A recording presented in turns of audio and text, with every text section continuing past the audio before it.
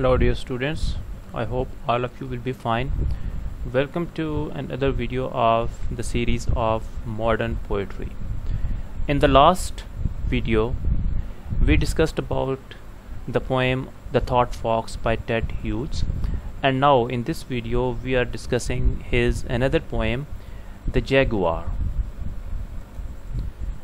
First of all we will discuss its introduction Ted Hughes was a modern English poet and children's writer. Since his childhood, he was a keen lover of animals and birds.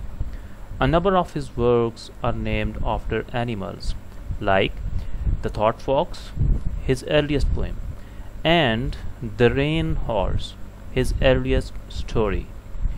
The poem we are going to discuss is also named after an animal, jaguar.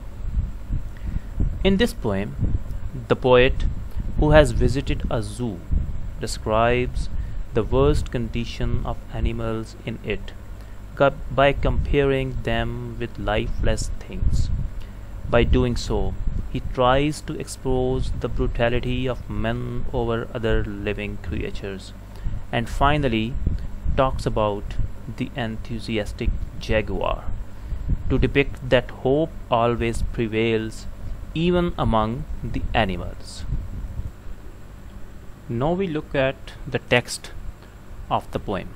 Stanza 1 The apes yawn and adore their fleas in the sun.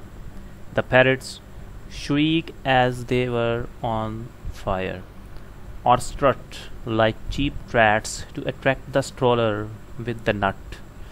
Fatigued with indolence, tiger and lion. He is discussing discussing about different birds and animals in the zoo. According to him in the first stanza the and in the first stanza of jaguar the speaker outlines a few animals in a zoo. It is not it is not until the third line that it is made clear that it this that this is the case but it is quite apparent at that point. The speaker takes note of the parrots and how they shriek, seeking out the stroller with the nut. Visitors to the zoo are bringing the creatures bits and pieces to eat, and they know well when they are going to eat. This is one of the first example of the changed behavior of animals in this environment. In the wild, the parrots would have would not have any desire to attack a human's attention. There is also an interesting simile in these lines when the poet compares the shrieking parrots to cheap rats or prostitutes who are trying to attract customers. As one would expect Hughes also emphasizes the lack of exercise or even simple activity that very active creatures, the tigers and lions, are experiencing in the zoo. They are so inactive, so lazy, that they are fatigued by it. This is something of hyperbole, exaggeration but it also speaks to how captivity changes the creatures it is imposed upon. So dear students we have seen here that uh, the use of simile is there. The poet actually is comparing different animals and birds with the with such characteristics that are not supposed for them. For example parrots are being uh, compared with the prostitutes and lion and tigers are being uh, called that they are so inactive and lazy. There is so much exaggeration there okay? Because normally uh, lions and uh, tigers they are not lazy. He is saying he is declaring them too lazy too much lazy okay? So it, it is suggestive of the fact that they are not given their actual characteristics. All of them are being presented as the passive ones, not the active animals. Stanza 2 Lie still as the sun. The boa constrictor's coil is a fossil. Cage after cage seems empty, or stinks of sleepers, stinks of sleepers from the breathing straw. It might be painted on a nursery wall. The last line of the first stanza. This is the analysis of stanza 2 according to the uh, while running from the stanza 1 the last the last line of the first stanza is enjambed in last video i told you about enjambment or run on line device when the one when one idea moves forward runs from one stanza to the other stanza this means that the second half of the phrase appears in the first line of the second stanza which is starting from the first stanza the speaker adds that these large cats spend their days lying still as the sun. Still as the sun. For example, when you look towards the sun, it is still. Just like that, large cats means tigers and animals. They are still, they are sitting still, lying still, and likely in the sun as well.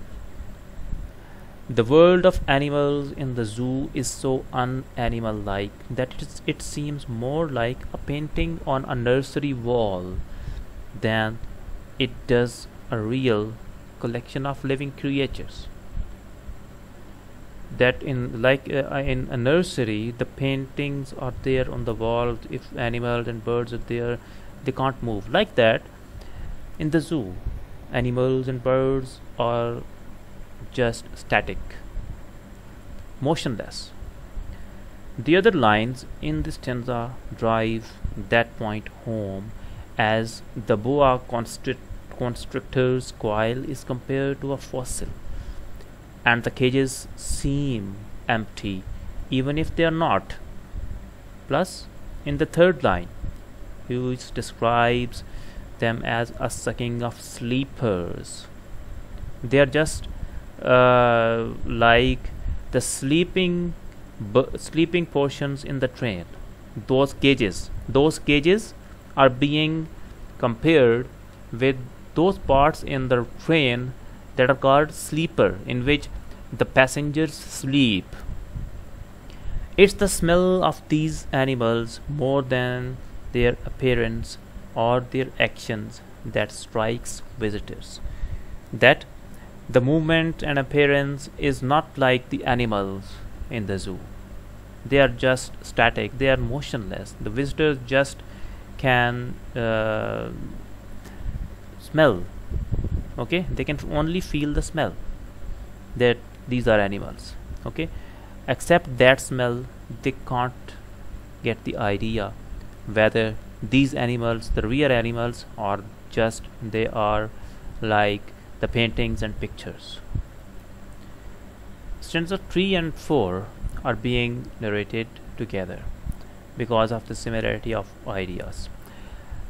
But who runs like the rest past these arrives.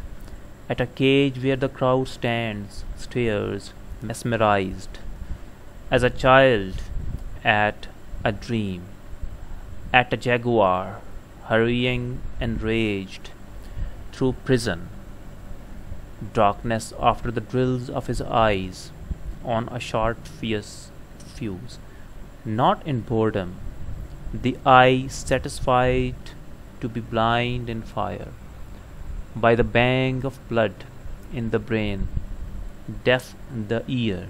He spins from the bars, but there's no cage to him. The speaker changes the poem in the next line. Before that, he was declaring all the animals passive and static. Now he introduces something else. He changes the atmosphere, focusing on a young visitor to the zoo. This child runs as everyone does to a very specific cage. He already knows what he is doing to see there. A jaguar, this large cat, is different from the other animals in the zoo. The fire in his heart has not been put out. The cat still has its wild instincts and desires. This might be to do, this might be to do with the period the creatures have been there, or perhaps to do with something deeper in this particular animal. This animal is different, is seen is uh, appearing as different than the other animals. That animal, jaguar, is full of desires, feelings, energy, vigor, right? Quite contrary, quite opposite to all the other animals of the zoo. So there is a transition in the environment in the poem. Stanza 5 More than to the visionary his self. His, stri- his stride is wilderness, wildernesses of freedom the world rolls. The world rolls under the long thrust of his heel over the cage floor.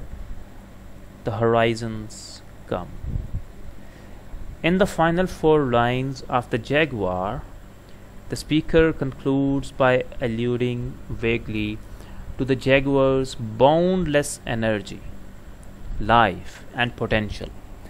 He describes the creature powerfully with a stride that still contains the wilderness he belongs to. In the last line, the phrase, the horizons come, suggests that these animals have yet to give up on the future. It has determination and power in a way that the other animals no longer do or never did, depending on how one reads this poem. It is easy to envision the same dynamic play, playing out among a group of people or various groups symbolized by the jaguar. We come to know that during the whole environment of the zoo we come across different things that are away from the wildlife that is not you can say uh, declared as the life of animals but when we see the powerful and uh, the energetic jaguar we come to know about the real wildlife now we see the themes in the poem. In The Jaguar, Hughes explores several interesting themes freedom, resistance, and captivity. All three of these are linked together in the form of the jaguar and his strength in the face of seemingly insurmountable odds. The poet draws the reader's attention to the jaguar allowing them to marvel over the animal just as the spectators in the zoo do. But what the poet adds to the experience is something of the jaguar's own emotions. He is able to convey the creature's feelings as it stalks across the cage, as well as its potential. He continues to push back, at least emotionally, against its captivity. The jaguar has ha not had his spirit broken. According to the poet, this animal, jaguar, is the representative of such people who feel very much brave and confident about themselves. They don't behave like the coward people of society. They want freedom. They do resistance. And they focus on the captivity. so dear students I hope you have got the idea you have to revise all this and prepare this poem and uh, prepare its critical appreciation according to the whole analysis that I have done in this video lecture. Understood? So take care and see you in the next lecture regarding Ted Hughes next poem. Understood? Thank you very much and good luck to you for your exams